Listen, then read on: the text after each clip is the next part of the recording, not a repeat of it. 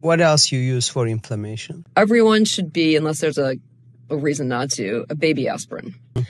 Baby aspirin is known to be very anti-inflammatory. Um, mm-hmm. Additionally, it is an iron chelator.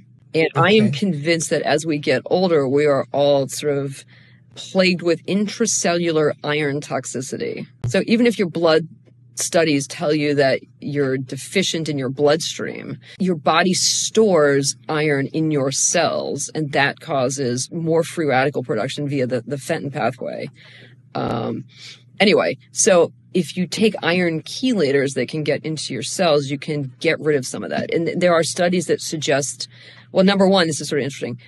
If you look at people, older people with cardiovascular disease that have been on aspirin for more than two to three years, there's a significant proportion of them that get iron deficient anemia. Mm. It's binding the iron. So it might be bad for them, but honestly, it's good for us.